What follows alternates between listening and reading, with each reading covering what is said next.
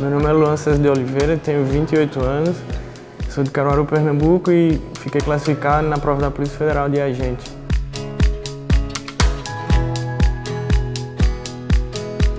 Eu estudava de manhã, assistia videoaula, tinha online do Alfa, e à tarde fazia exercício.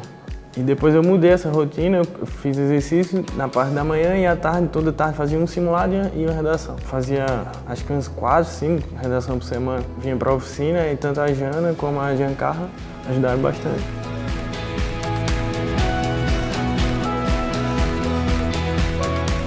Ah, na hora nem caiu a ficha que eu tinha.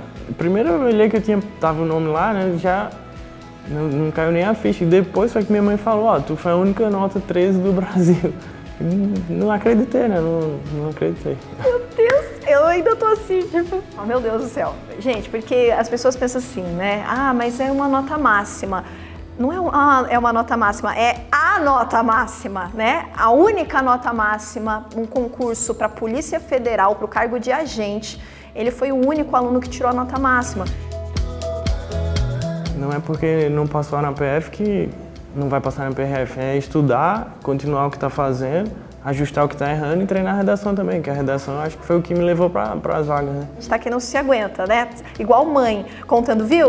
O Luan tirou a nota máxima, viu? O Luan, ali, ele tirou a nota máxima do presencial. Então a gente está muito feliz, com muita alegria. E esse orgulho nem é só pela nota, mas por saber que o esforço valeu a pena. E o próximo pode ser você.